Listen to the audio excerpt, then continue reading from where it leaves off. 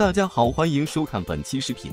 与俄克拉荷马的比赛开始之前，洛杉矶湖人官方宣布，球队前锋勒布朗·詹姆斯因为左脚踝的恢复原因，将正式缺席本赛季剩余的比赛。詹姆斯也算是正式宣告了提前结束本赛季，进入休假状态。同时，詹姆斯也更新了个人 Instagram 账号，对本赛季仍支持着他的球迷们进行了感谢。同时，他也展望了下个赛季，詹姆斯生涯的第二十个赛季。可以确定的是，詹姆斯放弃本赛季得分王的竞争，更看重健康。很明显，他仍把冠军看得比其他荣誉更重要。湖人的教练组和其他的角色球员们仍需要完成本赛季剩余的比赛任务。不过，管理层已经进入了休赛期的工作，他们再一次推翻了去年休赛期的签约模式，对阵容进行年轻化管理。在裁掉了特雷沃·阿里扎之后。湖人首先官方宣布，他们给队内的年轻前锋维尼恩·加布里埃尔提供了一份正式合同。此前，加布里埃尔和湖人签下的是一份双向合同。随后，根据哈阿雷铁克记者潘万安亚的报道，湖人给加布里埃尔提供的是一份为期两年的合同。下赛季，湖人拥有加布里埃尔的球队选项。除此之外，他们报道了湖人的后续操作。多名消息人士透露。湖人计划与后卫马克·麦克朗签下一份双向合同。二十三岁的麦克朗曾参加过湖人的训练营，本赛季他主要效力于湖人发展联盟附属球队南湾湖人，同时他也获得了本赛季发展联盟最佳新秀的称号。湖人这连续的裁人签约操作，已经宣告了他们年轻化的开始，他们开始更加注重活力和防守端的贡献。而不是为了投射能力彻底放弃防守。从阿里扎的离队以及加布里埃尔提前两年合同留守湖人来看，管理层已经开始了他们的换血计划。失败的赛季，总有人需要为此承担责任。湖人主帅弗兰克·沃格尔和球队后卫拉塞尔·韦斯布鲁克看起来是最不可能在下赛季出现在湖人阵中的两个人。而沃格尔最近的一些采访也有爆出湖人内部混乱、提前告别紫金军团的意思。早些时候，沃格尔表示能够执教詹姆斯，让他的教练生涯变得辉煌无比。他们能够执教詹姆斯感到自豪。同时，沃格尔还表示，他希望未来詹姆斯可以再次夺得总冠军。在我看来，勒布朗·詹姆斯就是历史最佳球员，能够执教他让我无比自豪。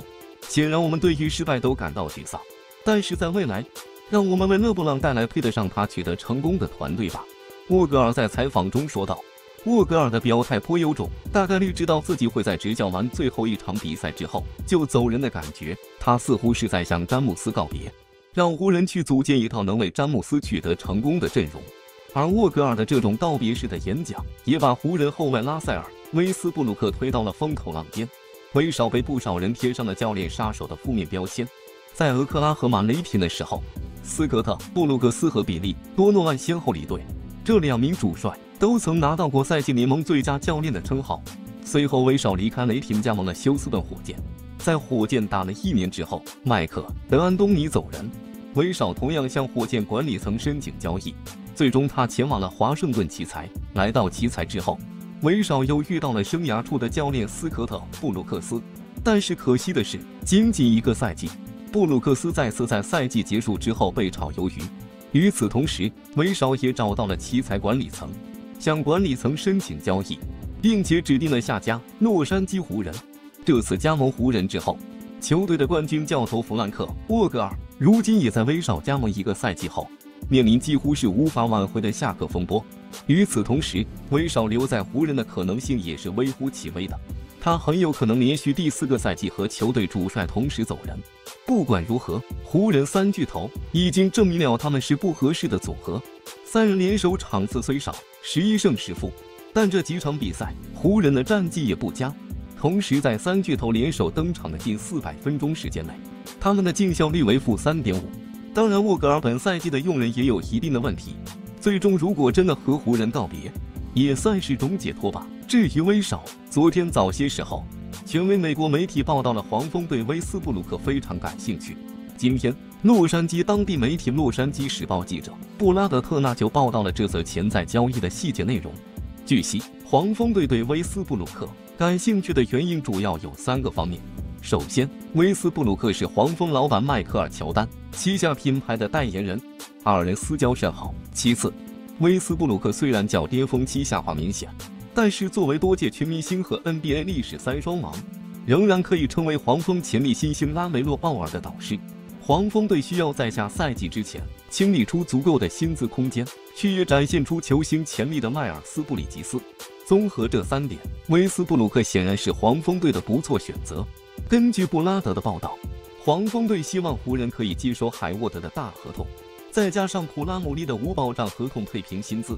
如此操作之后，黄蜂队将会在二十二到二十三赛季开始前拥有大笔薪资空间。除了续约布里吉斯之外，还有希望在自由市场尝试引进其他球星。根据洛杉矶时报的分析，这笔交易发生的可能性非常大。毕竟，对于湖人队来说，送走威斯布鲁克是让他们重拾战斗力的先决条件。但是，两支球队的分歧可能会出现在具体交易筹码身上。据悉，湖人队很可能在这笔交易中索取黄蜂队得分后卫罗齐尔。这位二十六岁的得分后卫，下赛季的合同为两千一百四十九万。考虑到他近几年不错的发挥，是略微溢价的正资产。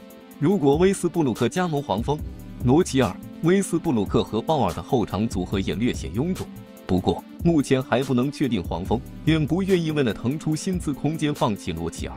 不过，如果湖人队真的可以在这笔交易中得到海沃德和罗齐尔，那么新赛季他们的实力不容小觑。罗齐尔是比威斯布鲁克更适合詹美组合的后卫，他不仅有出色的持球组织能力，还兼具大心脏得分能力。海沃德虽然近几年出勤率不佳，但是总体来说还是一名不错的侧翼，有无球俱佳的特点，让他可以完美融入湖人队体系。不过这两名球员的加入，无疑会让湖人队承担更重的薪资压力。珍妮巴斯愿不愿意为了冠军付出更多代价，成为了左右这笔交易的关键。球迷朋友们认为这笔交易湖人该做吗？欢迎在评论区讨论交流。关于湖人，球哥就说这么多了。最后，球哥带大家看看其他消息。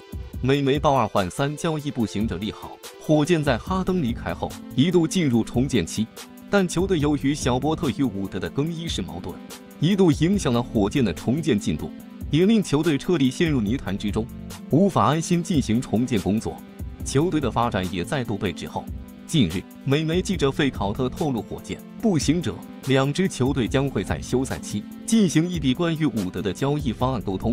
具体方案如下：步行者得到波特、伍德、努瓦巴；火箭得到哈利伯顿、希尔德。对于步行者来说，得到年轻的波特以及伍德，对于球队整体实力得到提升，而且两人都在成长中，球队甚至可以从重建之中崛起，成为季后赛有力竞争者。球队实力得到巨大的升级，这笔交易对于火箭来说，带带希尔德可以令球队有了新的领袖。希尔德与格林的组合，也可以令火箭整体实力得到巨大的提升，令火箭快速进入重建，甚至提前进入崛起的可能。这笔交易一旦达成，对于步行者将是巨大的提升，球队实力也一度加强，球队也具备争夺季后赛席位的实力。对于火箭来说，希尔德的到来。加速球队重建的脚步，球队甚至可以早日完成重建。波特与伍德的离开，给了格林更大的空间，对于格林的发展也将是巨大的利好，有利于年轻人的快速成长，对火箭未来将是巨大的利好。这笔交易一旦达成，对于联盟将是巨大的震荡，可以在一定程度上影响联盟的整体格局，两支球队也因此得到双赢。对于各支球队季后赛的走势也将得到巨大的改变。